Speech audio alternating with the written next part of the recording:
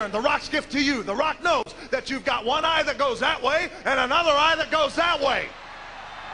In a minute. And The Rock is just hoping for one single solitary second that the eye that's going that way is looking at The Rock's hand going that way. So The Rock will slap that crooked eye.